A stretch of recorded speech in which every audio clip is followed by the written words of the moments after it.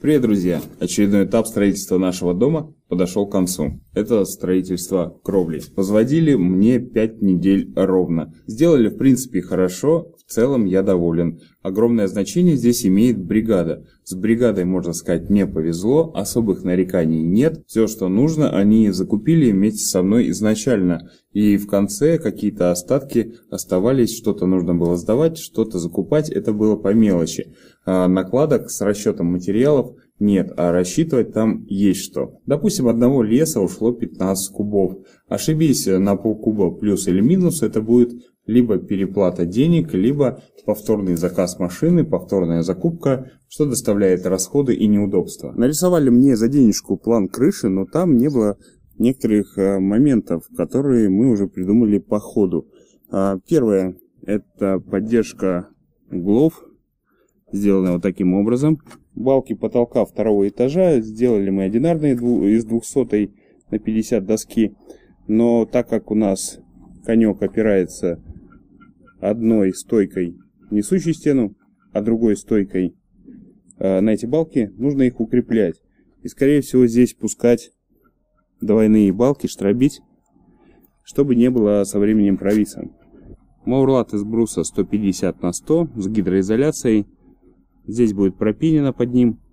Никаких уголков здесь не применяется при креплении стропил. Просто два гвоздя по диагонали и будет крепкое соединение. Из крепежных элементов используются в основном вот такие вот скобы 80 на 300 мм.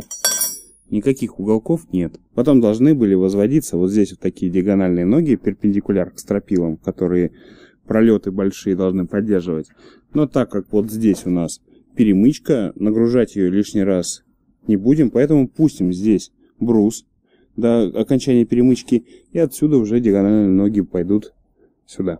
Может, я, конечно, неправильно называю элементы, потому что я в крыше совсем не специалист, но пытаюсь показывать пальцами, чтобы было понятно.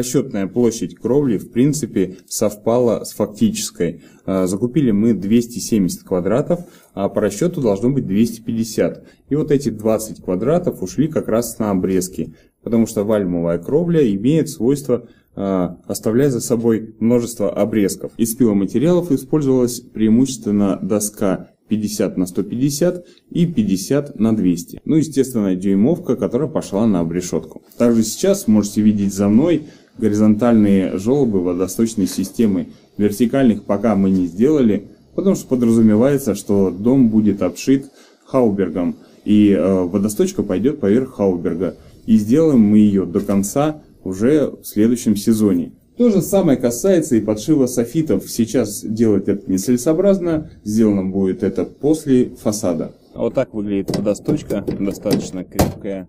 Крепится она вот такими креплениями к доске. Сорвать ее зимой не должно.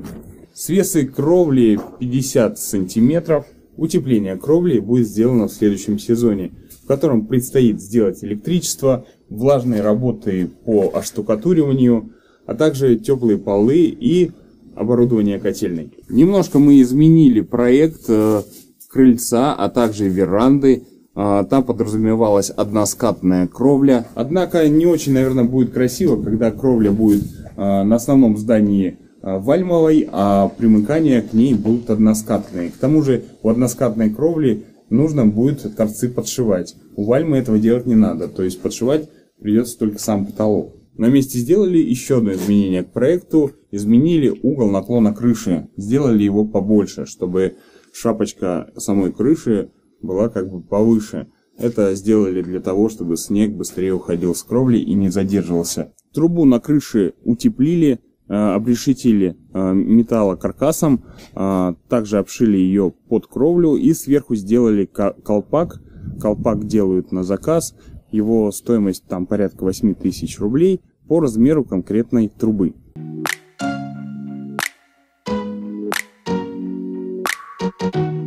На крыше также поставили снегозадержатели в небольшом количестве. Насколько они нужны, неизвестно. Рабочие говорят, можно их и не ставить. Ну, расходы небольшие, решили купить и поставить. Если бы вернуть время назад, что бы сейчас я изменил? Ну, прежде всего, вот посмотрите вот это расстояние от кровли до окна.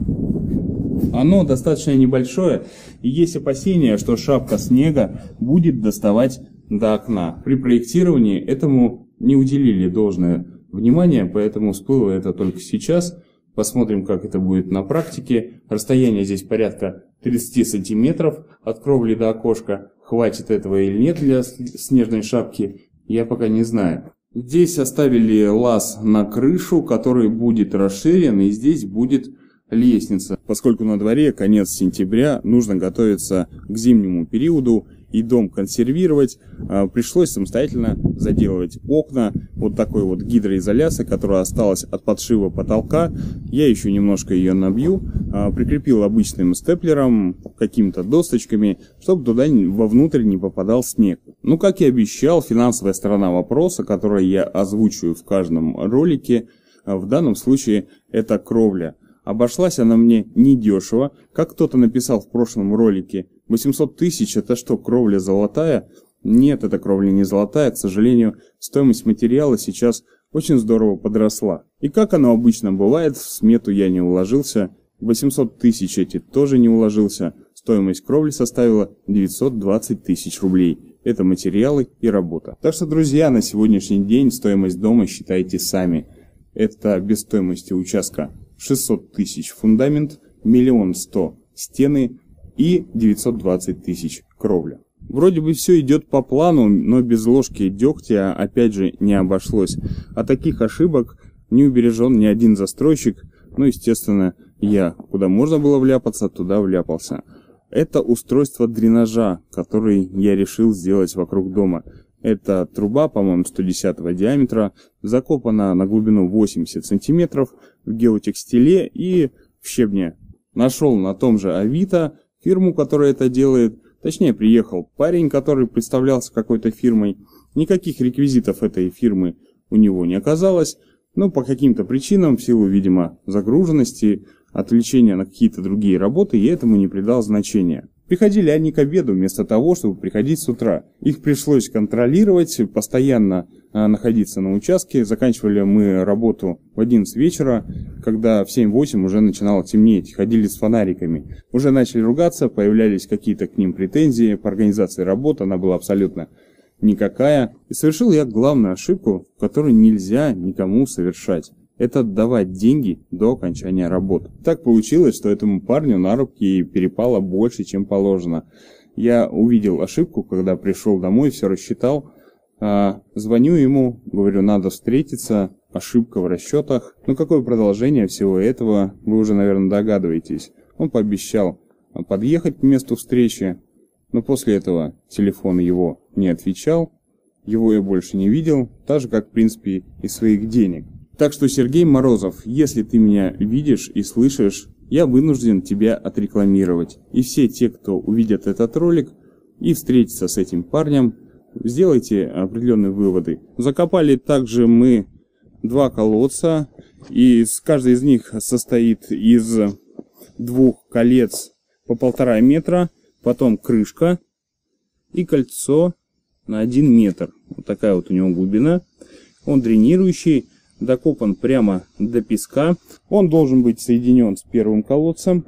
Это как раз Сергей Морозов это не доделал, сбежав с моими деньгами. Бетонирование этого колодца фактически он не выполнил. Просто высыпал туда мешок цемента, полил водичкой. Вот такое вот полубетонирование.